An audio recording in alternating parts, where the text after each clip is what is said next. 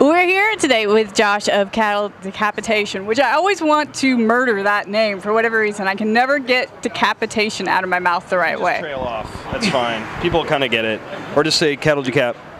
That's the very young person internet generation way to say everything.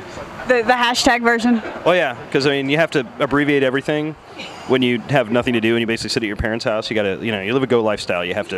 You don't have time to say the entire name. No, no, I understand. I understand. Got to save those those milliseconds by all means. But this is the end of this tour, right? So have you guys had a good run? Have you been enjoying it so far? Absolutely, it's been great. Cannibal's great, and their crew's great. The shows have been really good so far. Soreption's awesome dudes, great band, and uh, yeah, we're sad to say there's only one more day, and that's in Orlando tomorrow. Well, and the biggest thing that, that I've personally seen that you guys have announced lately is Hellfest being on that bill.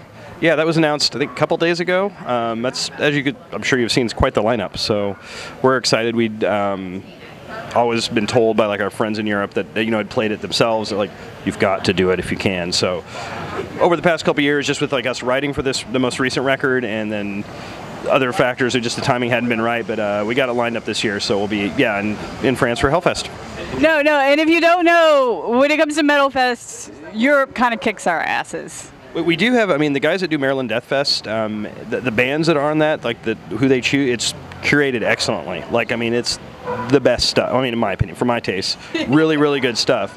Uh, unfortunately, it's on the opposite coast that I live, but um, in Europe, though, I mean, it's just like it's it's much more of a cultural thing. Like, it's an ingrained part of the metal culture over here. Where um, Milwaukee Metal Fest for so many years over here was the fest, and then that kind of fell off, and then we just didn't have anything for a while. And then Maryland came up, and they're building it still, but they've got a really good foundation. But I mean, for the big spectacle, like, you know, almost Woodstock style fest, Europe's got, you just can't really challenge them for that. So, but Hellfest is, I don't want to say new. It's not new, but I mean, it's in the history of like, you know, how Metal Fest goes, it's kind of new, but it's really made a huge impact already. I mean, I don't know if it's going to be like kicking Wacken off anytime soon, but it's, but it's going to be neck and neck before too long. Yeah. Um, so yeah, kudos to them for doing it right. you know? No, no, it's a beautiful lineup for sure. And on that, sometimes when you play events like this in a band, you don't get to see everybody, but is there somebody on that lineup that you're itching to try and sneak off and be able to see that you maybe haven't before? Or? It's I, I I kind of did that brief scan where I'm like, whoa, and then I didn't really have a time to like take it all in. So, um, I- I don't know. I'll have to investigate further and give you a better answer at a later date. That's fair enough. That's fair enough. That's an honest answer. That's part of just being a touring live musician sometimes too. Is Yeah, you just see the over like okay, it's, um, it's like Black Sabbath, Rammstein, and I'm sure they're going to announce another couple bigger heavy hitter ones, and then just all these, you know, it's just like oh, oh, oh, okay. I'm sure we'll be playing when they're playing, or like there'll be some conflict. Oh, cool, you know. So it's, I'll just have to weed through it, you know. well, and it hasn't been too long ago since you guys released an album, but are you already kind of in the works of writing the next one? Are you already kind of have something brewing? Because you always do such interesting things concept wise. Absolutely not.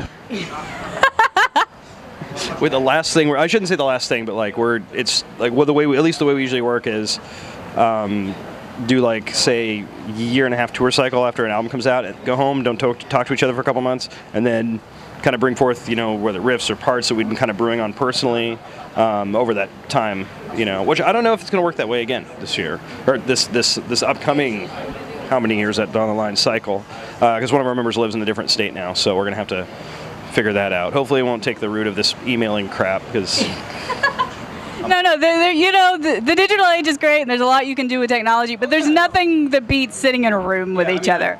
i'm you know i'm you know uh, that's i mean i guess it's grandpa but like it's always the way i've done it so it's obviously not to say that there aren't other bands that are completely successful doing it you know and- you know and do it you know very well. It's just it's going to be something to either get used to or completely reject.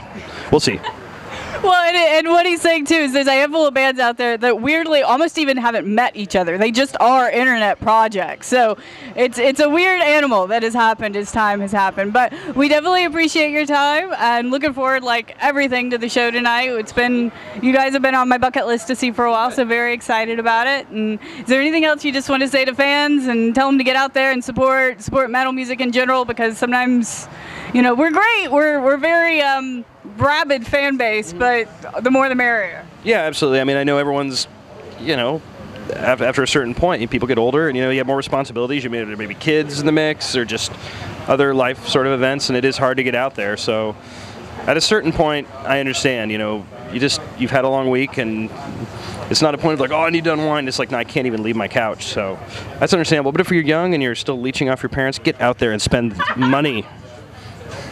Otherwise, if you're older and have other responsibilities, you can do your best. But we understand. If you're older and have responsibilities, buy albums. Buy actual You albums. want to contribute. You buy albums, order the shirt, come out. You know, one out of every three or four times. You know, it's like, it's I we understand, but you know. Well, beautiful, beautiful. Kill it. We appreciate your time today, darling, and we'll see you on the inside.